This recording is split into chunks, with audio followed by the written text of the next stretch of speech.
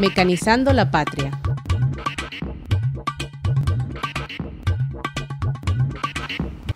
Aquí estamos en presencia de la cosecha de arroz con la cosechadora Don Roque del convenio Venezuela-Argentina, RMB 125 arrocera.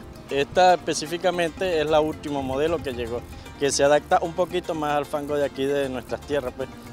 Esta cosechadora tiene distintas partes como para procesar el arroz limpio para que se saque hacia la arrocera, del campo hacia el camión, que se lleva limpio ya.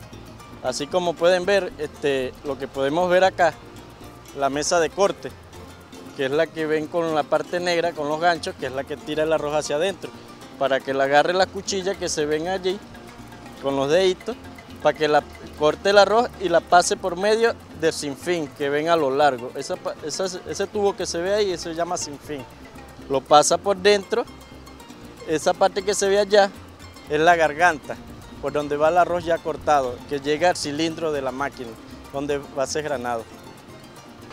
La cosechadora para, la cosecha de arroz tiene que ser a oruga, porque a caucho es muy fangoso y entonces no, no camina la máquina.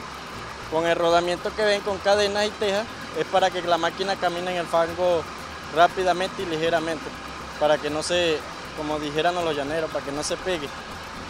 Como podemos continuar, esta es la parte de la garganta, por donde ya ha pasado la mata del arroz, por la mesa de corte ya cortado. En el traslado de la garganta llega el cilindro, que queda específicamente por este lado acá donde empieza el procesamiento del, engrane, del engrane de la mata, sacándole el grano de la mata del arroz. Después que pasa por el, por el cilindro, viene es granado hacia una parte que se llama zaranda, que es específicamente como especie de un colador, para sacar el arroz limpio que tenemos acá atrás.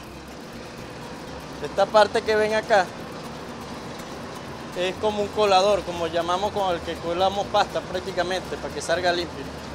Y por aquí sale la paja directamente al, campo, pues al terreno, para que quede en el terreno donde se está cosechando. Por este, otro, por este otro lado de la máquina nos encontramos con los elevadores, por donde se traslada el arroz ya procesado hacia la tolva para irse acumulando para vaciarla al camión, para que así sucesivamente se lleve a la rosera, donde se hace mejor el tratamiento para el consumo humano. Este que llevamos aquí es el elevador de grano sucio. Y el de acá, el, el elevador de grano limpio, donde ya está listo el arroz granado y limpio.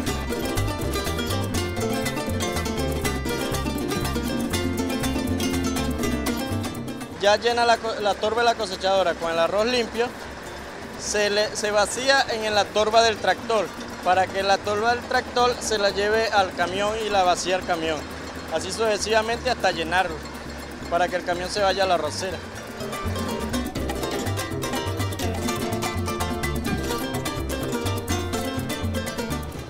Bueno, la cosechadora no es muy difícil de, de manejar porque es parecida a un vehículo, a un carro. Pues.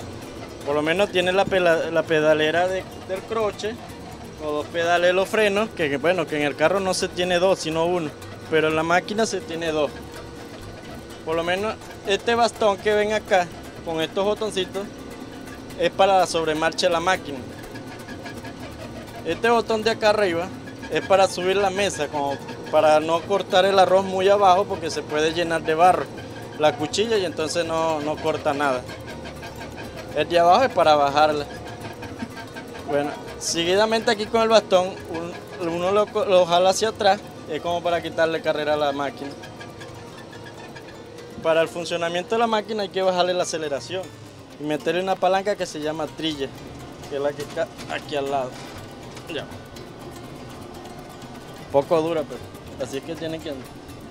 Ah, y el motor tiene que andar a toda marcha para que no tenga ningún problema del procesamiento del arroz.